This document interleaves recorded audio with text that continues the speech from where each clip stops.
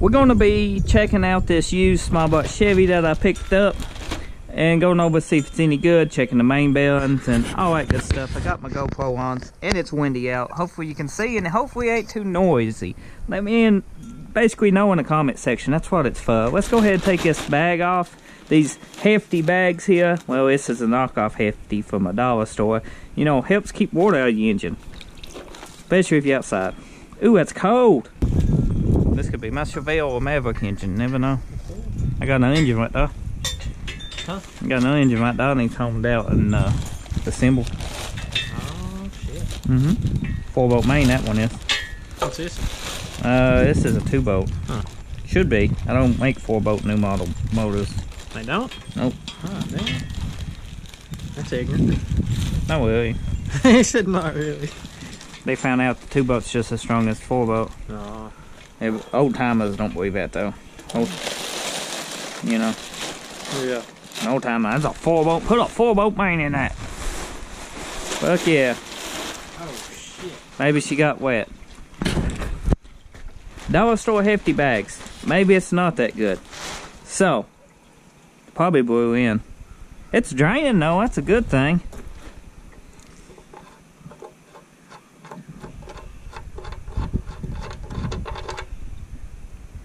Ah, we WD-40 it. It's fine. You want to flip a Shane? Twist the handle.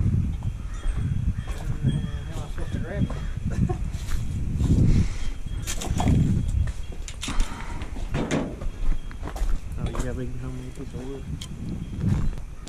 In my pants and on my porch. Shit. We, that's when you know you're a little lazy, ain't it? We don't have to pop a. Oh, Oh, here we go, here we go. I did find something. Oh, look at that.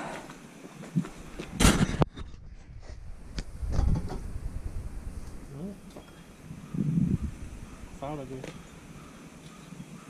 ain't gonna fit all the way.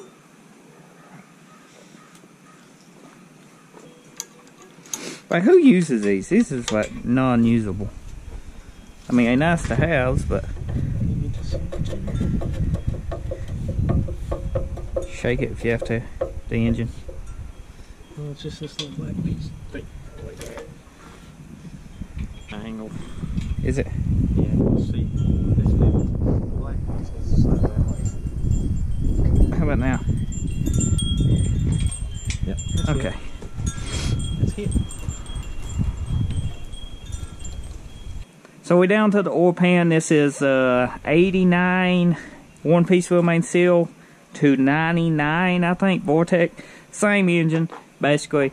And we're going to show you how to remove the oil pan. You got different sizes, heel and gnaw, and different nuts and bolts and braces. It should look exactly like this, unless uh, that's wrong size. That's the wrong size. What size you give us? 10?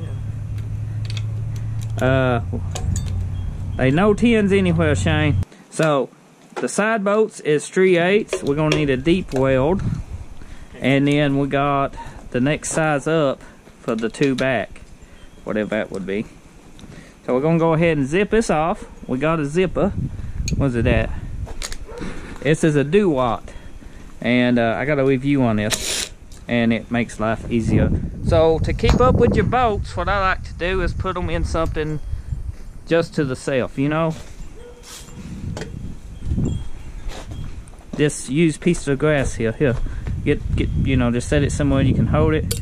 It's windy today, we better hold on to it. I zip these out.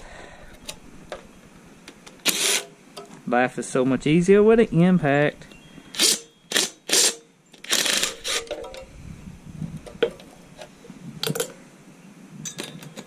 That's bigger, bigger, bigger.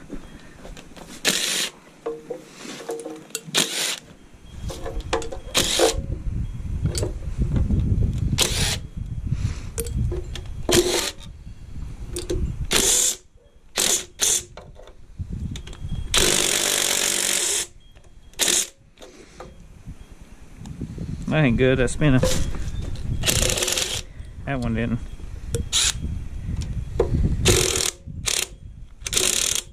Oh, my drill's dead. Manual it is. Okay, that ain't, that ain't good. We need to go down the next size. Uh, socket and that. You can put that back up. Maybe that one that didn't fit it before. That's the only boat we got left. These bolts is a size half inch on the side here. Just in case you wanted to know. Well, on my engine it is. No, definitely not that size. Those two, Hank. What size is this? On the sides is 7 16 Old fashioned way, ain't it? Mm-hmm. That's what you need, Shane. Need your small part. I want to put new wings in it. New wings about $40. Once you get all your bolts out, your braces will just pop up. You can hold on to these. They help seal the pan. But if you put an aftermarket pan on it, I sometimes will use them, but most people don't. Aftermarket pans, if they good quality, it's sometimes a little bit thicker. So once you get that bolt removed, that's what we did. We removed it with vice grips to fit all of everything. And you can just tap on the sides. This pan's rusty. I would replace that. Look at that. Good old steel pans for you. You can get uh, aluminum pans pretty cheap for any small block Chevy. Swedes and Chevrolet went to aluminum, you know. Then you can take and set the oil pan to the side. Oh, okay. So this is inside the engine. It don't look like it's ever been remanned to me. Usually they are numbered or stamped if it's been into. So this would safely be a factory engine. That's got a little bit of moisture in it, but there ain't no water. So that's good. Everything was up top. Everything's oil coated good too.